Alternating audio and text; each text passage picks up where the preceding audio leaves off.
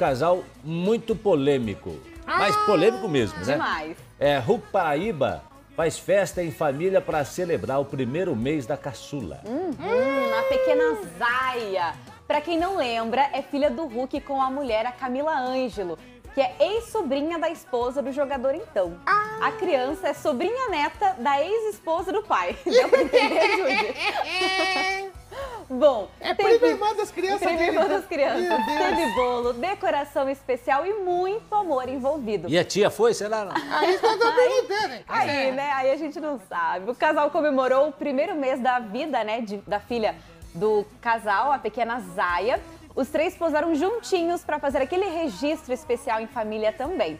Ela estava usando um vestidinho branco, coisa mais linda, com uma tiarinha na cabeça, com um lacinho. A Zaya nasceu no mês passado em Miami, bem chique ela.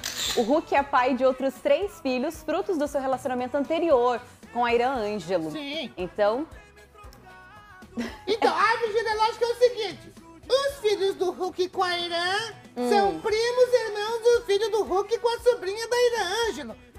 a Irã Ângelo é tia-avó da filha da sobrinha do Hulk. O Hulk é pai, tio-avô.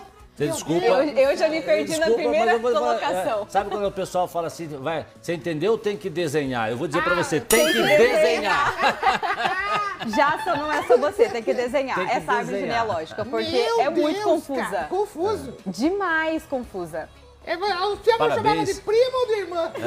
Né? Mas assim, Essa é a questão. curiosidades à parte, felicidade pra criança. Ah, a gente é? estima que Sim, tenha muita um saúde, que traga sempre muita alegria pro casal. Como né? diria Cecília Comel, o importante é Ser feliz. feliz. né? Feliz, É, ser ter feliz. verdade.